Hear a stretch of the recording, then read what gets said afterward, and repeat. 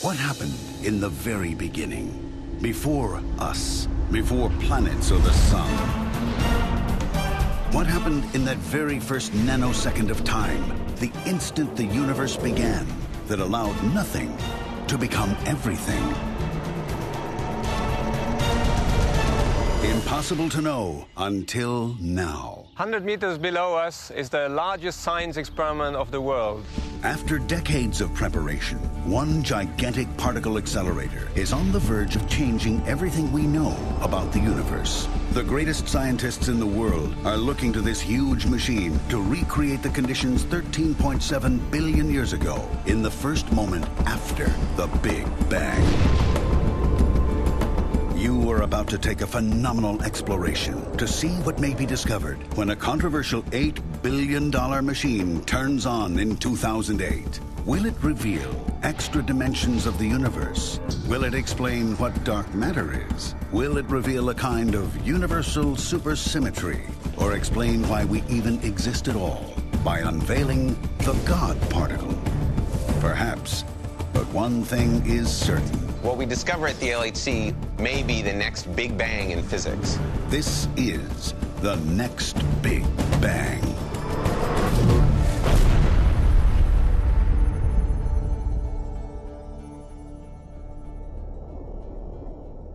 Hi, I'm David Kaplan. I'm a particle physicist. And over the next hour, I'm going to try to explain why we're building the largest science experiment in the history of the planet. It's called the LHC. It's a tunnel 16 and a half miles around and more than a football field underground. It's filled with the most amazing technology in existence. LHC stands for Large Hadron Collider, meaning it's very big and it accelerates and collides hadrons, which are particles. We do this to see deep into the makeup of everything. Trillions of protons will travel in opposite directions around the ring, accelerated to the speed of light, until the beams converge and the particles collide at four separate experiments. And it's here, at these four points, from these powerful particle collisions, that David and other physicists will get a clear picture of the universe's beginning. Imagine this line is the history of the universe. This direction is time, and this direction is temperature. Us. Hello. The beginning, I have the Big Bang. Now, we live here because we can't live here earlier in the universe because it's too hot. This is the time that stars formed. If I go before that, I get the time that atoms formed. This is the time when the temperature of the universe is the same as the temperature inside the sun. This is the time where the nucleus of the atom is formed. And back here is the time when everything is one big quark plasma. Before this, it's really hot. Particles are hitting each other really fast, and we have no idea what's happening. The only way to find out what this is is to build a collider, smash particles together at that temperature, and then see what we see. The LHC's massive underground footprint is located in France and Switzerland. Particle beams will literally come from opposite sides of the border in order to collide. Really, really hard. Particle physics is the study and the search for what things are uh, made of. What are the fundamental particles uh, out of which everything is made? Particles are everywhere.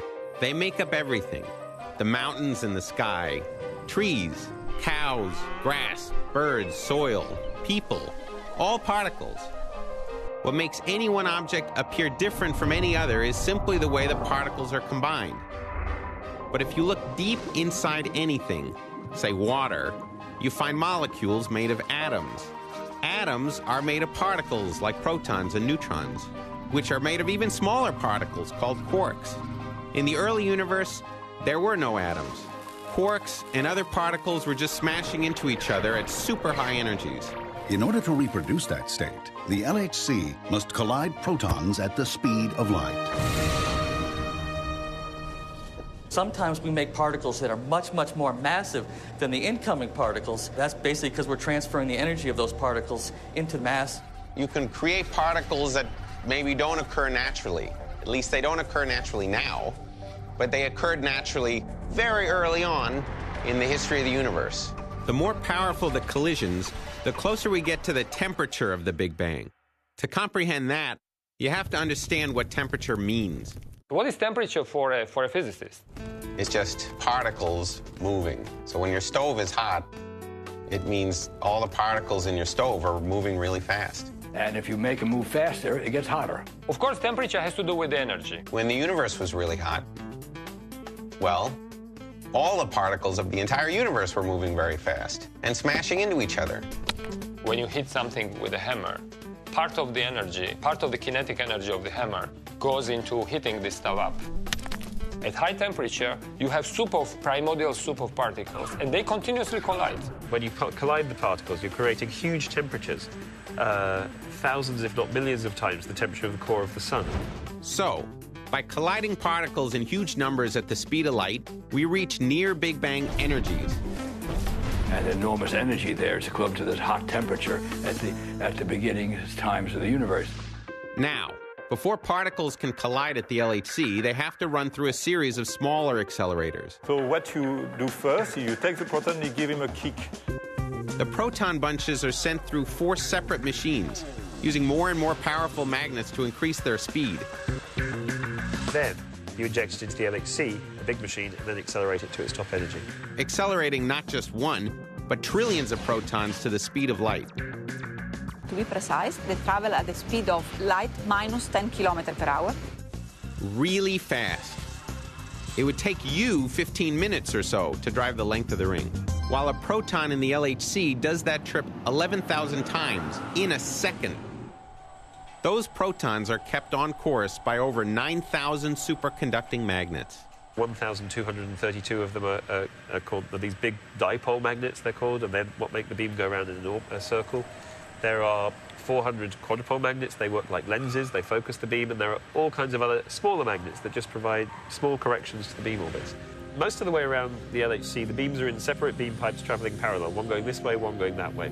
And right before they get to the experiment, the beam pipes converge into one tube. And then they collide. Per second, there will be 40 million uh, collisions happening. You've got one packet coming this way, one coming that way. They collide 40 million times a second. But there's an awful lot of particles inside these packets, 100 billion in each of them. And when you do the sums, that means that you're getting up to 600 million individual proton-proton collisions a second inside the particle detectors. Thus, replicating the conditions of our universe the instant it began. You have to build a machine that big to get energy enough to mimic what was happening when the universe was tiny fraction of a second old. Humans have always had the curiosity to ponder the universe and find the makeup of things. Around the 5th century BC, Democritus, a Greek philosopher, uttered an amazing statement for his time. The atom is the smallest indivisible unit. That was a uh, brilliant construct of the mind, you know, that things be made out of tiny little elements like that. There is nothing but atoms and the void. Can you imagine having a theory, being deeply committed to it, and knowing you'll never be able to prove it in your lifetime. Still, Democritus could imagine the atom. And now, we've already managed to look well within that tiny atom and its particles, allowing science to develop a clear picture of our universe three microseconds after it began. Three microseconds. There are about 100,000 microseconds in a single blink of an eye. So since that picture is clear, what did the Big Bang itself actually look like? If I was sitting there watching the Big Bang, would you've heard the Big Bang? It's very difficult to imagine someone sitting there while space is exploding, because where is the guy sitting? The problem is the Big Bang is not an explosion in space. It's the explosion of space. You can, you can visualize it sort of maybe as a balloon, if you will. But anyway, let's say you could. So you got things moving back and forth inside this balloon. It's getting very hot. And all of a sudden, you take a pin and you pop that helium balloon. Let there be light. Everything that is space is completely bathed in high temperature radiation, bursting with light. Very quickly, as the explosion dissipates, temperatures lower, particles start to bond and acquire mass, and the universe as we know it begins to form. Even understanding that much, scientists will use the LHC to learn what happened even earlier. We want to roll the tape back and look at that first nanosecond. One tenth of a uh, billions of seconds after the Big Bang. The very first nanosecond in time. That's 3,000 times earlier than we already know. What strange truths might that reveal? Weird things can happen at the atomic level.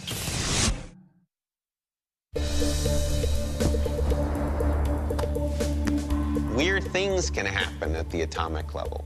Things can be in roughly in two places at once.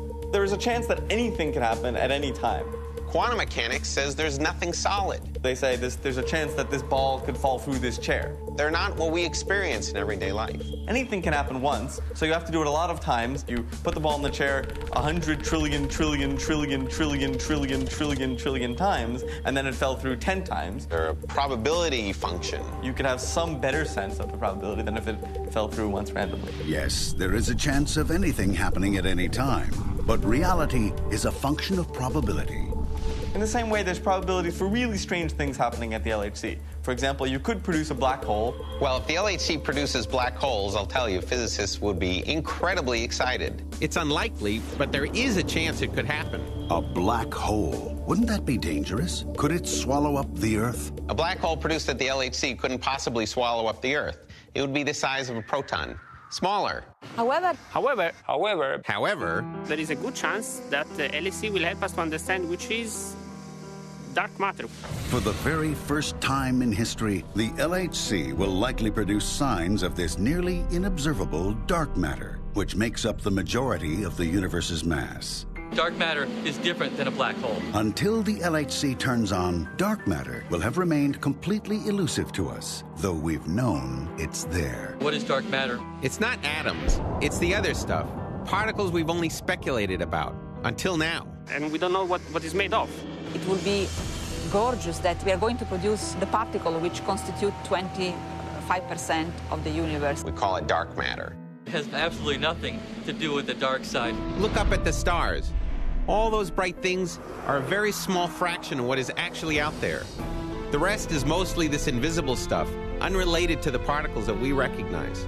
We call it dark matter. And right now, dark matter is passing through you at over 100,000 miles an hour.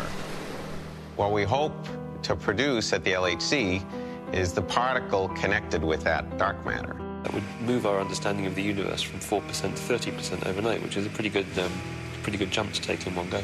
Darth Vader is still safe. The road to understanding dark matter first required really understanding what matter is. And that process couldn't have begun without something we now take for granted called experimentation, a method brought to science by a man with a telescope. Galileo Galilei was one of the first modern scientists. He drops a uh, penny and a uh, big 50 pound weight, they fall the same speed. Galileo modernized the telescope, looked into the stars to see what was actually out there. He measures to see how the world actually is made, you see. Uh, that's a, a different experimental method which we do today. And he brought the theory of atoms back. Though Galileo was on the right track, what he didn't know is that atoms and everything else are made of particles. More particles than he could have ever fathomed. The first glimpse of these particles within the atomic structure happened in the late 19th century when Ernest Rutherford discovered there was something inside there. He called it the nucleus. That's when particle physics truly began.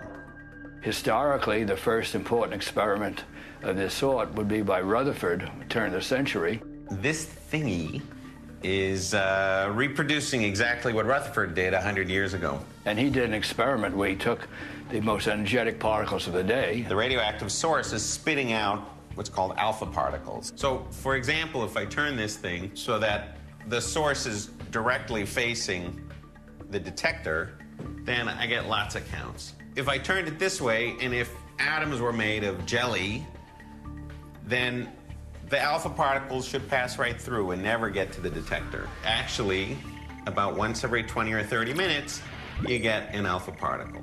The radiation goes, hits the foil, but then bounces back and goes into the detector. Implying that there was hard cores, and therefore that the atom was really a solar system of something hard and something going around it, as opposed to being spread out like a jelly. Once this experiment was done and really Rutherford interpreted it, we knew what the atom was. It was the first time we knew what the atom was. Though his discovery was gigantic, Rutherford used a relatively simple machine to look into the atomic structure. But we want to see what lies beyond that. For example, dark matter. Amazingly, we may finally get a glimpse of that invisible stuff at the LHC. How? By using an experiment like this. Welcome to Atlas.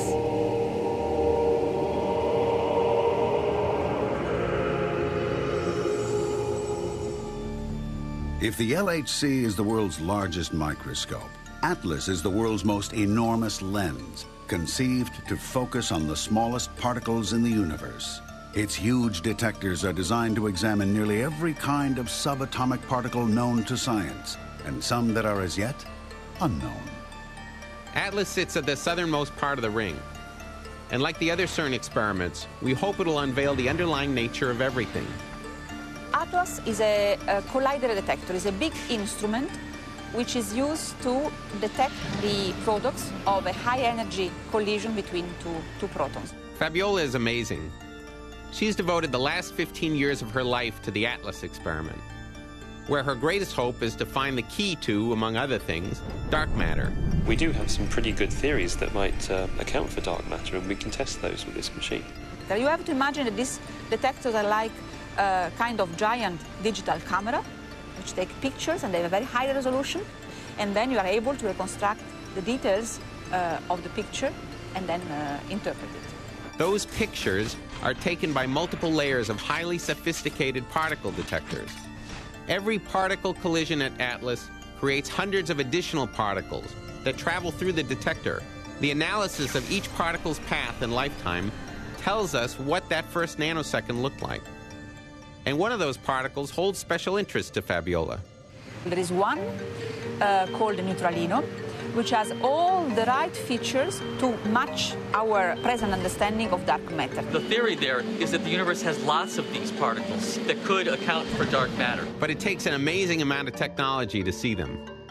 Components of the detectors are uh, made of different materials, which span from silicon, pixel, as small as 40 micron, a micron is a one millionth of a meter, to very big coils, uh, which are 25 meter long and, uh, and weight 100 tons. The experiment is an engineering marvel. Here's just some of the massive services that you've got.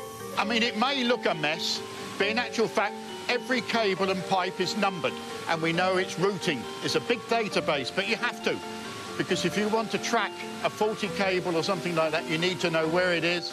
And obviously, when you get to the other end, which may be 100 meters away, you want to know where it's got to go to. The Atlas detectors are capable of recording all of the 600 million collision events per second. Now, if all that data was saved, it would fill up every hard drive on the planet in one day. So a sophisticated trigger system was created to analyze and save in real time 100 of the highest quality collision events out of the millions that happen every second of every minute of every hour of every day. That means that every single month, the LHC will produce and analyze about one and a half million billion collisions. That's a number we call really big. It's one of those boggling physics numbers, similar to the relative size of a grain of sand. Take a, a grain of sand, a single grain of sand. That single grain of sand has 20 billion billion molecules in it. Each molecule has 90 particles in it electrons, neutrons, and protons. If you count all the particles in a single grain of sand, it's the same number, roughly, as all the sand in the Sahara Desert down 10 feet. So that's a lot of particles. So compared to a proton, a grain of sand is really big. Colliding two particles as small as protons is more difficult than colliding two bullets shot from the Earth and the Moon. So in order to create all those collisions at the LHC, they have to use, well, a lot of protons. The beam is uh, made up of 2,808 bunches, contains 100 billion particles, each of those. Those bunches are lined up every 25 billionths of a second. That makes 280 trillion particles traveling around the LHC at once. So that's a big number. The awesome numbers at the LHC are largely possible due to the invention of a much more humble particle collider, ADA. So this is uh, ADA, which means anello di accumulazione. The ring for accumulation. So this is really the first machine of this type. ADA is more than 4,000 times smaller than the LHC. ADA was conceived in 1960 and was realized in less than one year. ADA never discovered new particles. But this great leap in physics and technology showed that magnets could move particles in a circle for a long period of time, allowing for the possibility of collisions. It's really the tiny father of all colliders, including the LHC. Here at CERN, the home of the LHC itself, world-class physicists from around the globe are collaborating on a revolutionary experiment. Of course, it's not the first time in history that's happened.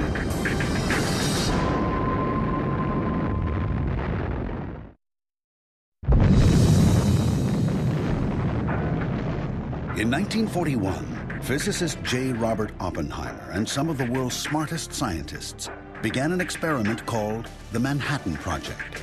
Now, all the scientists had to not talk about what they do, which is normally not the way how science works. Four years behind closed doors later, they had created and tested the atomic bomb. Shortly after that, CERN was created, redeeming the name of science. 12 countries created here in Geneva the CERN laboratory. CERN is not the Manhattan Project. Lots of people come and say, I don't suppose we can take pictures. And the answer is yes, take as many pictures as you like. There is nothing secret here. And the LHC is not a bomb. It's not going to blow people up. CERN is a laboratory that exists to do fundamental research. We are expressly forbidden to do anything else. After 30 years of open door science, CERN took a huge step. In 1983, they began excavating the tunnel for a gigantic particle accelerator. That same tunnel would become home to what is now the LHC, the collider they could only imagine 25 years before. And now, the LHC will begin colliding particles at energies never before reached. By a machine, that is. By replicating the instant after the Big Bang, there are many that believe we will somehow see proof of another astonishing possibility extra dimensions of the universe beyond the three we can see. Real physical extra dimensions of space. Explain that one, David. What is extra dimensions? Oh my God. There's this, there's this, and there's this. 3D, you know, things are in 3D. We think of X, Y, and Z, so three dimensions of space, and then time. An extra dimension would be another direction that's, you know, at a right angle to those three. But you can't imagine that.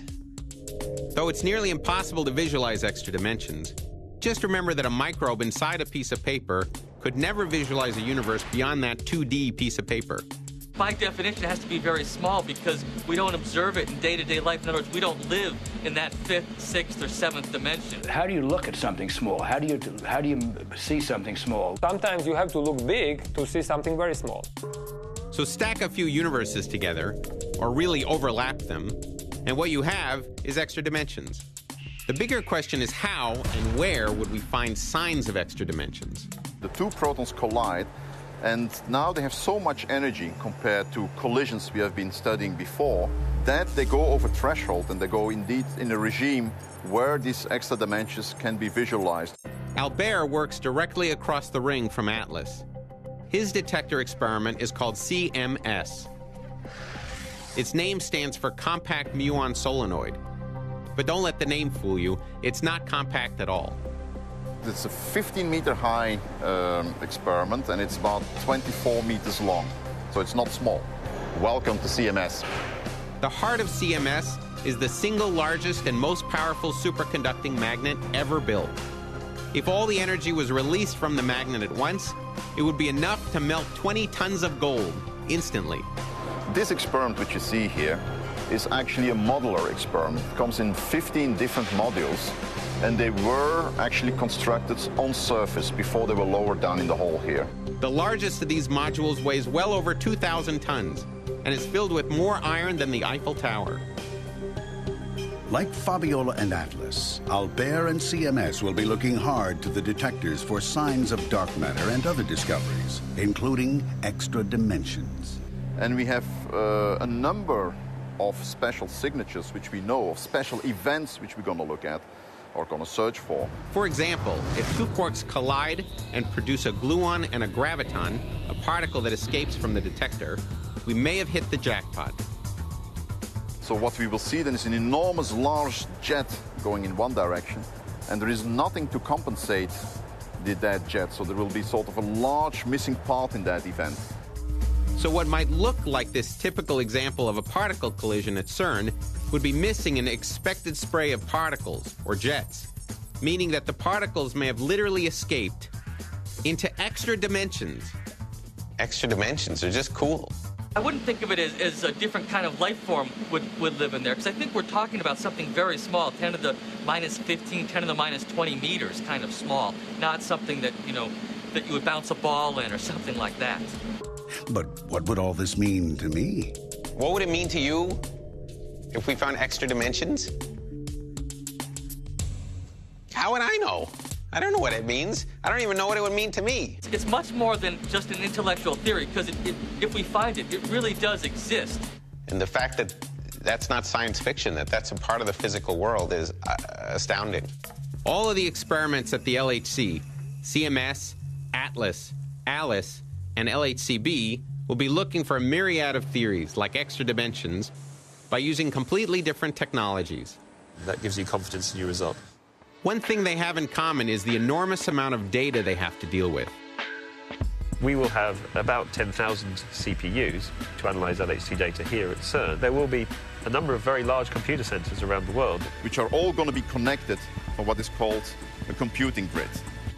And with this computing grid, it will be like having a single computer with more than 100,000 processors. It boggles my mind. So what does the rest of the world get out of all this?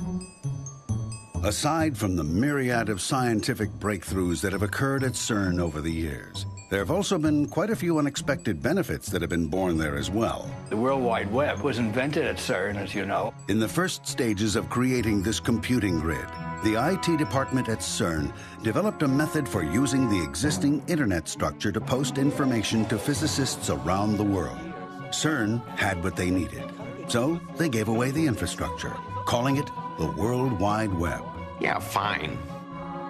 The web came from the LHC. And you use it every single day, as well as other physics-generated toys. And quantum mechanics, of course, is why you get these cell phones and radio and all these bourgeois comforts we wouldn't live without anymore. I'll have to take it, excuse me. It's science who develops the ideas, and sometimes we can even manage to make it useful for others. The fact that the World Wide Web is something that is a spin off of what they're actually trying to do gives you a sense of the intensity that people have in attempting to answer these questions. And that same intensity may have led us to the verge of finding the God particle. So why do we keep trying so hard to collide particles together? For one reason, we know there's something missing. Something we should have been able to see long ago. So we keep at it. When two particles collide, how do you create new particles? There should be a particle that explains why stuff has mass, why we exist. Some call it the God particle. It's known as the Higgs boson, and though its existence was predicted in the 1960s, no one has yet to see it. To understand why it has to be there, you need to understand this. What particle physics really is, is quantum field theory. Not so long ago, it was thought that everything that exists now, all particles, existed from the moment time began. Not true. It's the fields that exist.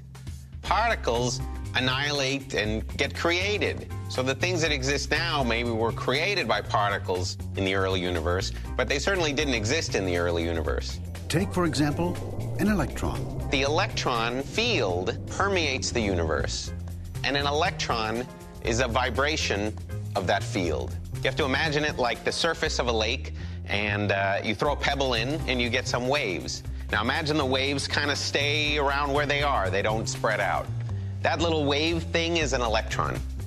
Every time you throw a pebble in, you get another electron. There is a lake for every type of particle. The constant is energy. E equals mc squared says that the energy then is equal to the energy now. Could be in the form of mass, or it could be in the form of things moving around. And that's it. Quantum field theory. Fields fill space, and fields are the existence of particles. Physicists know that there is a field responsible for mass. Therefore, Today, we think that masses are generated because there is a Higgs particle. As the universe cooled, the Higgs field condensed, making it more difficult to move through space due to what we interpret as mass. And the God particle is the search for this Higgs particle, a way in which we can give mass to, to particles. As particles move through space, their interaction with the Higgs field is proportional to their mass. And one of the goals of the LHC is to finally find these things. To find the Higgs would answer a whole bunch of questions, but to not find it would have even more impact. Well, most physicists are a little uncomfortable with the fact that we haven't seen any, any so far. If there is no Higgs, who is generating the mass? Would be a great mystery. Why? Because it's the best possible explanation we have for why we exist the way we do. So, how will they find the Higgs? Particle signatures. Signatures of new physics. This is a cloud chamber, where the naked eye can actually see traces or signatures of fundamental particles. Originally built for examining clouds, this relatively simple box filled with dry ice and gas allows us to visualize subatomic particles. Amazing. When an ionizing particle goes through the cloud chamber, it again has only single atoms that are ionized, and you don't see those. But the mist inside the cloud chamber condenses on them, which you can then photograph, because it gets big enough to photograph. Signatures, tangible proof that they exist. There's an electron. Look, that's a photon. Like the cloud chamber, spotting the Higgs particle will be a process of looking at signatures left behind by other particles in the LHC, or maybe even somewhere else. This is the Tevatron. It's also just outside Geneva, Geneva, Illinois. At one-fourth the size of the LHC, it is the largest, most powerful collider presently in operation. So we're in the Tevatron tunnel, a four-mile-long ring, uh, the final stage of the accelerator at Fermilab. The Tevatron was critical to the development of the superconducting magnets that would later become the backbone of the LHC. Tevatron is like time machine because it can produce particles at the beginning of the universe. The physicists here have been searching for the Higgs particle for 25 years. And some say they may find it before the LHC turns on. Will they find the interesting Higgs particle before LHC is on? They have a tiny chance. But once the LHC turns on, the primary attention of all physics, including that of the Tevatron, will be at the LHC. This room is called Remote Operation Center. So that this is uh, where uh, we can monitor what's happening the other side of globe at CERN. A remote operation center across the globe to look for the God particle. Sir Isaac Newton would be pleased. Isaac Newton was arguably the greatest physicist who ever lived. Imagine a time before modern science when there's a guy who could predict things about nature. This looks like magic to the average person.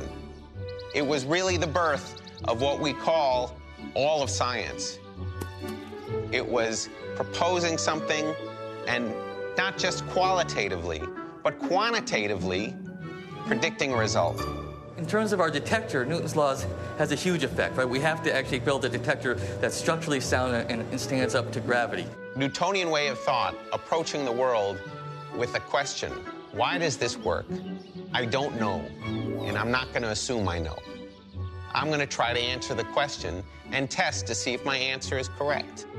That way of discovering the world is how we live today. It's a Newtonian world, but it's also a quantum mechanical world. It is, in fact, a quantum mechanical world, and it has been since that first nanosecond in history. Quantum mechanics describes the laws that govern the physics of subatomic particles, how they behave. At the quantum level, Newton's laws break down. In our experience, objects obey very strict physical laws of motion and velocity. But in the quantum realm, a particle cannot be said to be in any particular place until it is actually observed. The best we can do is assign it a probability of being at any given point at any given time. Therefore, every particle has a chance of being anywhere at any time, or everywhere at the same time. Pretty complicated, even for some of the smartest people on the planet. In fact, one scientist completely abandoned quantum mechanics after contributing to its inception. Perhaps you've heard of him. You want me to say something about my theories?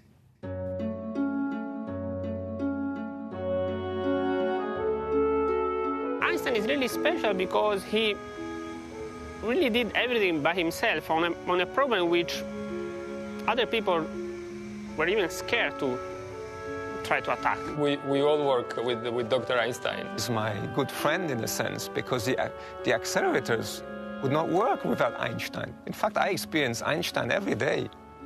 It's become so natural that I, I, I'm not even shocked anymore by these concepts. At the end of the 19th century, the physics community thought it had basically figured it all out.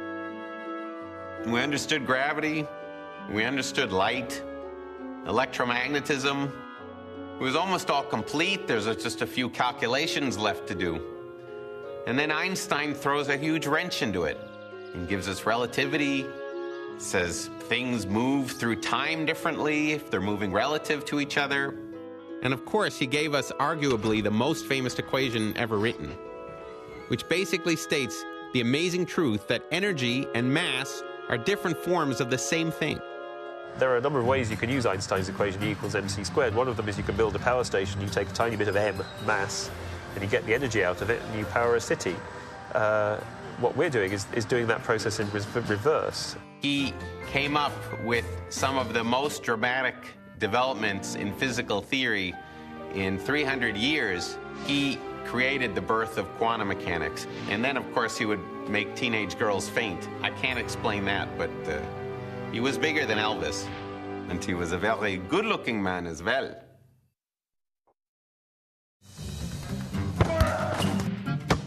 Some people have fears that the LHC might produce something dangerous. Um, we're going to create black holes that are going to destroy the universe. or maybe the LHC could be used as a weapon or something. No, we're not building a bomb here. There is no sort of weapons building. It requires 17 miles of real estate in order to actually produce a beam of that strength. Not very practical. However, it is practical in producing cutting-edge science. And the hope for the LHC is we'll see things that we've never seen before, and we'll understand things that we haven't understood until now. Why then is this great LHC hidden in a tunnel 100 meters underneath Europe? Well, you got to put the thing in a tunnel. The first reason to put it in a tunnel is there are cosmic rays coming from outside the Earth and bombarding your experiment. So you put it inside a tunnel so that the cosmic rays don't disrupt your beam. So the depth keeps cosmic rays from tainting results. But even more important, perhaps, is that when the beam is turned on, while it's going, it's emitting this radiation. And the radiation is coming out, and you need something to shield the radiation from coming out of the tunnel. Radiation, which is why you can't be in the tunnel when it's on. If you're in our collision hall and you're, you're hugging the beam pipe while the collider is running, but you would die almost instantly from the radiation. So the big question is, what actually happens to all the radiation? When there is no particle left, there is basically no radiation left. When you turn it off, of course, there's no radiation. Still, the LHC is not without dangers, which is why huge care goes into keeping people and the machine safe. With hundreds of trillions of protons traveling at that kind of energy, one situation is particularly worrisome for scientists at CERN a disaster called a quench. when you're steering these protons that are going that fast around and around in a circle, you're, you're doing that using very high magnetic fields. And the way that we generate those magnetic fields is with a, a, an electric current flowing in a wire. 12,000 amps of electrical current. Now, considering your entire house only uses about 100 amps, the LHC's whopping 12,000 amps must run through superconducting cable. And to make a cable superconducting takes a lot of work. It's a very low temperature phenomenon. The cable has to be kept extremely cold, about as cold as the dark side of Pluto. In order to get those kinds of very low temperatures, about 260 degrees below zero, we use liquid helium. Which is dangerous in itself. You can't touch this stuff. Because it's so cold that it will be completely frozen. If the temperature of the liquid helium rises even a few degrees, the results can be disastrous. Something could happen that causes the superconducting cable to heat up above to a temperature above where it superconducts, and suddenly this 12,000 amps sees a resistance, an electrical resistance. That's a quench. Now the wire acts like any other wires, so it acts like a heater. It heats this magnet up, and now the liquid helium turns into gaseous helium. All in a fraction of a second. So now you have to get that deadly gas the heck out of there. And that gas has to go somewhere, otherwise the magnet will blow up. Which you obviously want to avoid. You have to have very sophisticated systems that, that monitor for quenches, see quenches coming, and when they see one coming, they dump all that current out very quickly into uh, quench resistors. Because if the magnet goes down, suddenly this beam, packing the force of a small aircraft carrier hitting the beach at 30 knots, is now flying out of control. When you hear the LHC guys talk about, oh my God, there's a quench, they really have a problem in the sense that that quench could cause could missteer the beam and that beam, if, if it's missteered, will now go right into the side of a magnet and blow a hole in the side of that magnet. If a beam got loose, well, it would punch a hole in the wall about 100 meters deep. If you were hit by the beam, you may wonder, what, am I going to vaporize? No, you wouldn't vaporize. You would just die. And I think relatively quickly. Which is another reason why there's no one in the tunnel during its operation. But it's a very real danger for the very expensive equipment. It's something we will have to deal with, but what I can say is that every single magnet in that tunnel has been tested, quenched, put through its paces on the surface. All of this work, all of this technology, and all of this danger to find something, and one possible something that could address everything is called supersymmetry. The fundamental essence of supersymmetry is that there should be a symmetry between particles and forces. What the heck is supersymmetry? Supersymmetry that's a toughie. Supersymmetry is a theory where effectively every particle has its own superparticle. For every known particle, like the electron, uh, there's some other particle which is the partner of that particle, the superpartner. Except that it's heavier, more massive. We look hard enough, we should find a whole other double copy of this world where there's a force carrying particle for every matter particle and a matter particle for every force particle. It's a symmetry between matter and force. This is often like to talk about supersymmetry as, as being a mirror. You have a mirror, and on one side of the mirror is the, the real universe, and on the other side of the mirror are your supersymmetric particles. Everyone who believes in supersymmetry believes that when we go to high enough energies, the, the mirror will break down and we actually will see particles and their superpartners at the same time. The LHC may actually find supersymmetry, or for that matter, extra dimensions, dark matter, or the God particle.